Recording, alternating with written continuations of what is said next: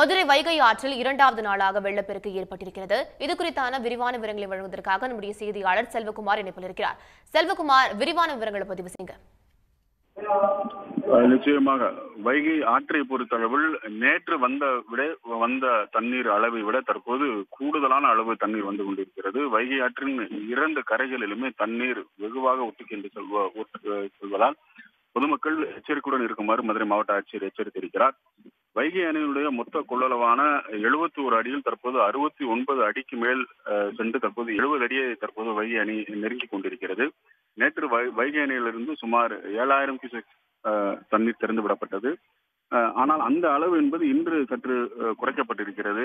இருந்தாலும் வைகை ஆற்றில் வரக்கூடிய தண்ணீர் என்பது தற்பொழுது கூடுதலாக இருக்கிறது. ஏனென்றால் கடந்த இரண்டு தினங்களாக திண்டுக்கல் மதுரை உள்ளிட்ட அந்த புறநகர் பகுதிகளில் பெய்யக்கூடிய மழை தண்ணீர் அனைத்துமே வைகை ஆற்றில் வந்து சேர்வதால் இந்த தண்ணீருடைய அளவு அதிகமாக இருக்கிறது. எனவே வைகை அணையிலிருந்து திறக்கப்படுகின்ற இந்த தண்ணீரும் மழை தண்ணீரும் சேர்ந்து தற்போது வைகை ஆற்றில் மிகப்பெரிய ஒரு வெள்ளப்பெருக்காக ஓடிக்கொண்டிருக்கின்ற காரணத்தால் ஆற்றில் தண்ணீர் வெகு இரண்டு கரைகளிலும் கட்டிக்கொண்டு வெகு வேகமாக சென்று கொண்டிருக்கிறது. குறிப்பாக மதுரையினுடைய மையப்பகுதியில் அமைந்திருக்கின்ற இந்த கோரிப்பாளையம் அஹ், இடையிலான தரைப்பாலம் நேற்றே பொதுமக்களுடைய போக்குவரத்திற்கு தடை செய்யப்பட்டது. ஆனால் அப்போது தண்ணீர் அஹ், அந்த தரைப்பாலத்தை ஒட்டி கொண்டுதான் சென்றது. ஆனால் இன்று முழுவதுமாக அந்த தரைப்பாலம் மூடப்பட்டு தண்ணீர் சென்று கொண்டிருப்பதால் பொதுமக்கள் எச்சரிக்கையுடன் நடந்து கொள்ளுமாறு காவல்துறை தெரிவித்திருக்கிறார். ஆகவேதான் இந்த பாலத்திற்கு முழுமையாக பொதுமக்களுடைய பயன்பாட்டிற்கு முழுமையாக தடை செய்யப்பட்டிருக்கிறது. மதுரை மதுரையை பொறுத்தளவில் மதுரை நகர்ப்பகுதியில் பெரும்பாலான இடங்களில் கனமழை என்பதோ அஹ், இன்று முழுவதுமாக இல்லை.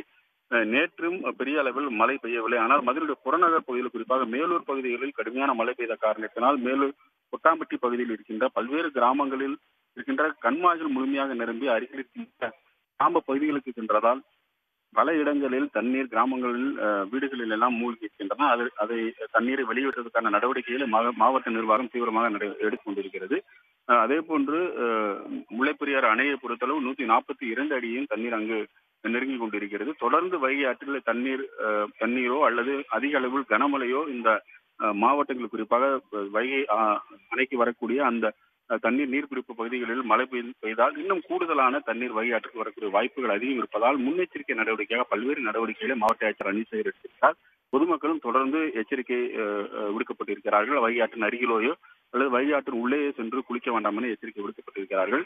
இன்னும் இரண்டு நாட்கள் மழை பெய்யும் பட்சத்தில் இன்னும் அது பெரிய சேதத்தை ஏற்படுத்தக்கூடிய வாய்ப்புகள் அதிகமாக இருக்கிறது. உடனுக்குடன் செய்திகளை தெரிந்து கொள்ள சன் நியூஸ் பெல் கிளிக் பண்ணுங்க.